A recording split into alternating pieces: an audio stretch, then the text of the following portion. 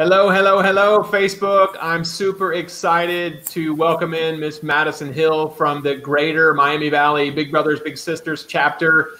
Um, we are forming a partnership um, with with you guys that we are super excited about. Our Hero House project, just to kind of set the stage for everything. Our Hero, so we we have a a project called the Hero House Project, where we essentially work with uh, local buyers and sellers uh, and we actually donate a portion of our commission back to the hero. And we work specifically with teachers, with healthcare professionals, uh, with first, first responders, uh, Department of Defense. And, um, and so we're excited to partner with you guys in that respect. And then not only that, but provide a platform to help you guys get your kind of your mission statement, your word out about uh, what you need, what you want, and what people can expect if they partner with uh, Big Brothers and Big Sisters of the Greater Miami Valley. So, with that being said, why don't we uh, why don't we just kind of start off with uh, an introduction for you, Madison? Tell us a little bit about yourself, and then let's go into you know kind of what you can expect with Big Brothers Big Sisters, and then how we can help you. Okay, awesome. So um, I'm Madison Hill. I'm an enrollment specialist for Big Brothers Big Sisters. Um, I just started in January. My husband and I are from North Carolina originally. Um, so we are, um, we say y'all, we, we love it in North Carolina. Um, we moved here for the military. Um, so we'll be here for a little bit. You never know with the military how long. So um, we're enjoying our stay in Ohio. so for Big Brothers Big Sisters, I concentrate on recruiting volunteers, but also matching those volunteers that come in through our program with kids in the area. Um, so just to give everyone an idea, it's one-on-one mentoring, um, and we have kids who come from all sorts of backgrounds, um, all throughout Montgomery County, Miami, Greene, and Preble County. Um, and we want you guys to connect, do things you already love with a child in the area, and just to be a good influence for them. Um, they might not have a good role model in their life, and we just want to make those connections. Um, so through Big Brothers Big Sisters, we're seeing so many um, great things happen for our kids. They're staying in school longer. They're avoiding risky behaviors. They are um, they're saying that their bigs have a positive influence on our life. So we're just trying to keep that happening, make more matches, make sure that not a child in Dayton goes without having a mentor in their life. What a great mission, man. And so I'm curious for you, obviously, that's a lot of information to unpack, but for you, how did you get connected with Big Brothers and Big Sisters, and why is it important to you? So, right when we moved into the area, um, I was looking for a job and got connected with someone downtown. Um, actually, the Victory Project. Um, yeah, I was in that area. Yeah. Um, and a friend said, Oh, I work with Big Brothers Big Sisters. You know, I'll let you know if we have an opening. And I was like, Oh, okay, maybe. I'm not sure. I don't know if I'd want to get involved with that. Um, and I'd always wanted to do advocacy work, uh, just didn't know exactly how. And a position came open. I applied that day, um, and it's always had a special place in my heart to work with youth. Um, so being able to interview kids, see why they want a big, um, why their parents think that it would be such a great idea for them to have a big, and why they need it. You know, they may be in a one-parent household. They may just need somebody in their corner to have a conversation with. Um, and it's been a great experience to see from interview and application of the process to being matched. And I mean, some kids, they have a match for six, eight years and they just love hanging out. And we've had success stories about Bigs being like the best man in like a child, their child's wedding. That's so awesome. It's just awesome to see. So how do you get connected with these kiddos? Like what, where does Big Brothers, Big Sisters come in in their lives? Um, so we have two types of programs. We have a community-based program where um, parents honestly just inquire online and comes into our system and we send them all the information that they need. So that is not partnered with a school. That is just the parents wants them to be involved and they reach out directly. So the parent and the child would meet with the volunteer like two to three times a month, um, two to three hours each outing and they would just do something fun together. But we also have a site-based program that we have like a team with a school, and they connect us directly to kids, like a guidance counselor will refer them, or like a social worker, and they'll give us their application, and then we'll go from there. But the volunteer will meet with the child once a week, the same time, same day every week, um, just for like an hour to help them with their homework or play a board game or they have reading logs um, that they can go through together. Um, okay. So two different programs for um, you know whatever people's schedules are, whatever would work better for them. Okay. And what when you like, what would you say the typical parent situation is that um, feels compelled to reach out to you guys, whether online or, or calling you? What what what set up the scenario of what that looks like? I mean, we have a little bit of everything.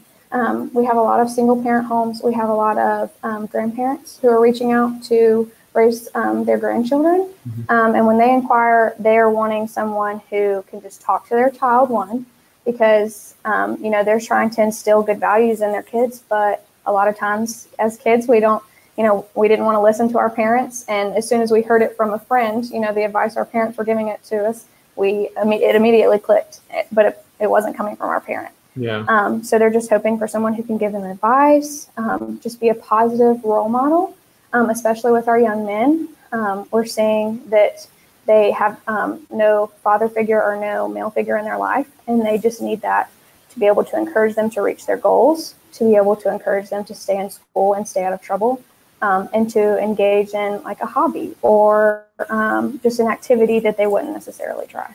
Yeah, that's awesome, man. And so I know from you being at our team meeting that you guys have a shortage of, of, of bigs men, right? And you guys, so you you're really you're advocating right now for men to join because you need th- these young these young these young men they need some older men role models in their yeah. lives and so you're encouraging men to to sign up what can somebody what can somebody that signs up expect so right now like you said um, we actually have 40 um, plus littles who are waiting and they've already been interviewed to be matched. And then we have 40 more who are waiting to be interviewed. And we're just trying to keep up um, to keep them in the program. Um, so when a male signs up, they can expect to, you know, go through a process of application orientation, interview, background check, references, just because child safety is our number one priority. Yeah. But then um, after that, we'll like have a match introduction introduction meeting where um, one of our staff the volunteer, and the little and their parents will all meet together, and it'll be the start of the match. Um, so they don't have to do anything crazy. We're not asking for people to spend a lot of money on these kids. Mm-hmm. We actually encourage free and low cost activities. Um, there's so many events in downtown Dayton and the surrounding area all the time um, that are free for kids. And we encourage you um, to take the kid to that, to um, go to the park, play basketball, take them on a walk with your dog if you have pets. Um, so the effort and the amount of time that goes into it is small and simple, but the impact is huge. Yeah. Um, and we're just wanting to emphasize that, especially during this month. Um, we're running a campaign to try to com- um, recruit 30 bigs in 30 days. And as of today, it's it's the halfway point. So we're we're chugging along. We're still recruiting. That's great, man. So what's really cool is that you know there's this there's this intangible like giving um, feeling that you get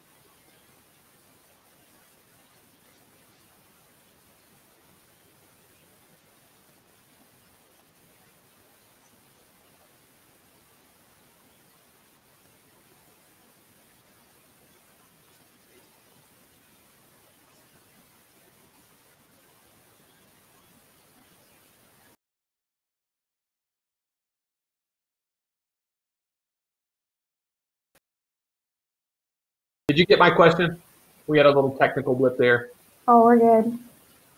So you're saying what's like the impact on the kids? Yeah, well, I, well, I'm saying, I, I, guess first of all, so there's there's an impact on both sides, and I think that's probably the coolest thing about the whole thing is people don't understand that when when you donate your time, especially for a cause like this, mm-hmm. that while you know it seems like you're making a commitment uh, to to be a part of someone else's life and to give to them, you're also getting something back that um, and, it, and it's intangible. It's something that you can't explain. But what i'm curious to know from you is i'm sure you've talked to some of these adults uh, mm-hmm. men or women who have come into the program and mentored some of our young guys and gals.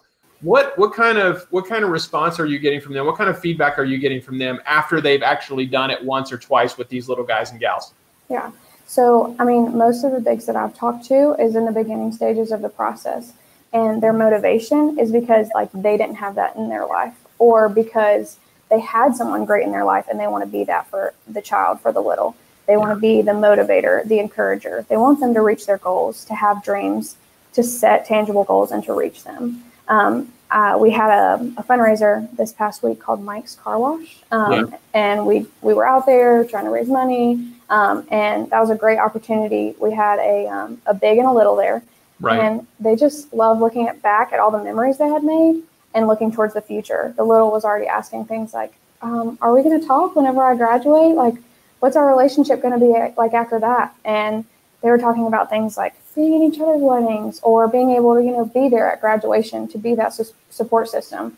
Um, we're not asking bigs to be parents because they have parents. We're just asking them to come alongside um, the school teachers, the parents, the grandparents, and just to be that one extra person to encourage them and um, just walk alongside them for life um, and make sure that they can encourage them in a positive way. Um, you never know how big an impact an outside an outsider will have um, on a child's life. And that's really what they point out when they talk to me, um, saying that their little has impacted them in such a big way. And they're hoping that they are impacting their little, but their little has taught them things like humility and um, just showing them um, how to brave and try something. So oftentimes I hear that the bigs, you know, learn more from their little and they're just hoping that the little is learning something from them. That's so cool. And and so you I'm sure obviously the the other side of that coin is um, talking to some of these little guys and gals after they've had a mentor in their life. And and what what kind of feedback can you tell me that um, that after talking to some of these little guys and gals what, what what kind of feedback are they giving you?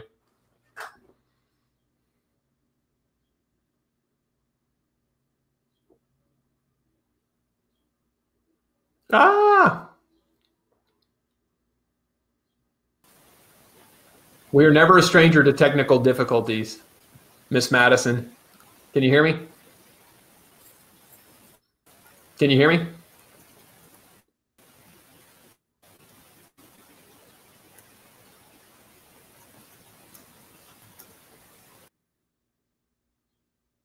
We'll see if we can get Miss Madison back on. But if you are watching this, um, certainly if you live in the Dayton or Cincinnati area, um, please reach out to Miss Madison. Hey. Can you hear me? Yeah. We're we're never a stranger to technical difficulties here, um, and and certainly, um, let's jump right back in. Um, okay. So my last question to you was the other side of that coin is is with these with these uh, um, young children, is that the impact that the the mentor has on them or the big, so to speak, has on them. And so I'm, I'm curious, you probably have an opportunity to speak to some of these um, these young children after they've had a mentor or the experience of a mentor in their life. And, and what kind of feedback are they giving you? Yeah, so um, I went to an elementary school the other day to kind of like get feedback. Um, it's important for us to do like end of the year surveys to make sure that we have good information about the effect the big is having on the little.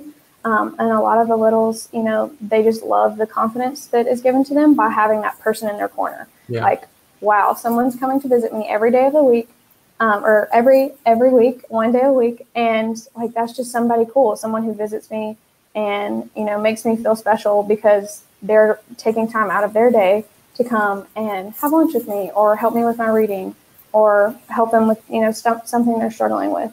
Um, so it's just that extra confidence booster um, to encourage them and just feel like they have someone who's who's advocating for them and standing up for them. Yeah, Madison, like what kind of statistics um, can you provide that show the type of impact that having a mentor or a big in their lives makes? Yeah, definitely. So we actually see that 46% of our littles are more likely to avoid illegal drugs. Um, 52% are more likely to stay in school. Um, 90% say that they make better decisions. I mean, the numbers are great. Like, um, we definitely are seeing results, and this definitely is proven to help. Like, one out of three kids in the United States does not have a mentor, um, but the one that does, um, there's statistics that back that up and prove that it's you know Im- improving their confidence. Um, another one said 93% of little say that their big helps them achieve their goals. Um, and that's you know that's all we can hope for. Um, and then we also do like reading logs and reading programs with all our littles. Mm-hmm. And so far, um, they've re- they've logged twelve thousand reading hours together, bigs and littles, and um, that's just it's just amazing the um, impact that they have and that we're seeing. And you know that that only improves every day because our programs are still running. Um, Big Brothers Big Sisters is all over America, um, and Miami Valley is just one small part of that. Yeah, that's just an amazing statistic uh, or set of statistics. The type of impact that just spending some time with uh, a young child can have, and and and so for me, like I hope the people that are watching this or listening to this, I hope they realize the type of impact that you know if they had a saturday afternoon or some free time after work or whatever that they they should really commit to doing this not only for that young child but for for themselves right because oh, yeah. we all get something back when we give and we've all heard the old adage it's better to give than receive it is absolutely true and and in this case not only are you giving something you're giving something that's making an astounding impact on these young children's lives yeah. statistically speaking. Uh, and and so you know, so, so, so, to that guy or gal out there watching uh, you or I or, or whoever will listen to this into the future, how do you recommend that they get signed up? What's the easiest way to get signed up with you? So um, the easiest way is to go to bbbsmiamivalley.org um, and just click volunteer. Um, if they don't even want to fool with that, they can email me directly um, at mhill at bbbs miamivalley.org as well. Um, we can send out more information. We also have partnerships, um, like with Love Ohio Living, we have partnerships with um, businesses in the area um, where their employers refer them to us if they want to get involved. Um, so check with your employer. They may already have a program involved um, that is referring their employees to us. but that's honestly the best way to do it. If you don't want to be a big, we understand some people are stretched thin but everybody knows someone who can. Um, so it's you can be a big, that would be awesome. If you can't, you know, find somebody and tell them about it, and we would love that and appreciate that as well. Madison, thank you so much for spending a couple minutes with me here this afternoon. I am truly excited about our partnership, and uh, we look forward to um, to really building this out and and helping each other. Um, I, I know that what you guys are doing is um, just making a, a, really big impact on our community. And you know, the bigger the impact we make on the community, the better it is for all of us. So thank Absolutely. you so much for what you're doing. Yeah, thank you. Thanks for the opportunity to speak, and we're looking forward to the partnership as well. Um, I don't know if we mentioned this, but we're also trying to improve like community relations with our Bigs with Badges program. Um, and just like you with the um, Hero House project, um, reaching out to those police officers, firefighters, um, military police, and just trying to bridge that gap in the community between um, the people and the public safety officers. And we just are so excited to partner with y'all in that regard. Yeah, and absolutely. And anybody working with uh, uh, Big Brothers Big Sisters of the Greater Miami Valley, um, certainly that is uh, active or retired military, a teacher, a healthcare professional, um, a first responder. Um, you are all you, you are all uh, um, you are all it, it, our hero house project is available to you. There is a 20% discount on buying a home or selling a home uh, through the hero house project. What i mean by that is we're giving we're, we're actually giving you back we're crediting you back 20% of our commission and then 5% we would actually donate to big brothers and big sisters of the greater miami valley uh, and everyone wins when we do that. So once again, Madison, thank you so much for giving me a couple minutes here this afternoon. And uh, yeah. we're really looking forward to this moving forward. We are as well. Thank you so much. All right. Thank you. Bye. Bye.